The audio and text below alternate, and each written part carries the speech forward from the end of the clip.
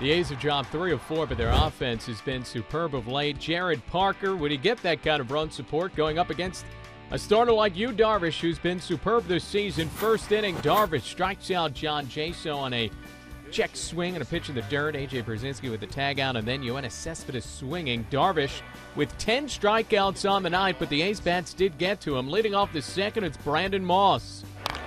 And that one is lined right field, and it is gone.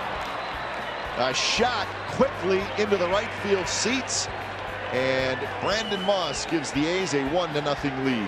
13th of the season for Moss. Later in the inning, Eric Sogard with a man on in scoring position. He's going to dunk this into center field. Josh Reddick looking to score. He will, and the A's take a 2 0 lead. In the third, John Jaso leading off. That one's hit to right, and that's got a chance to go. Cruz is looking up, and that baby is gone. Jaso homers. 3 0 the A's lead. Second of the season for Jaso. And now Jarrod Parker trying to make that lead stand up in the bottom of the inning. Two on, one out.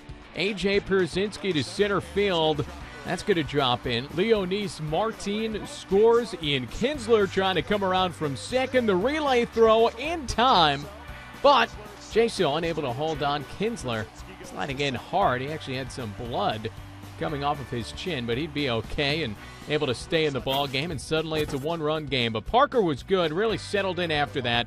5-2 in the fourth, strikes out Nelson Cruz. Then in the fifth, Ian Kinsler. And finally, A.J. Pierzynski in the sixth. Parker goes seven innings, strikes out four, allows two runs on just three hits. In fact, the A's two relievers didn't allow a hit at all, so they three hit the Rangers in a 6 2 victory. Darvish takes just his third defeat of the year.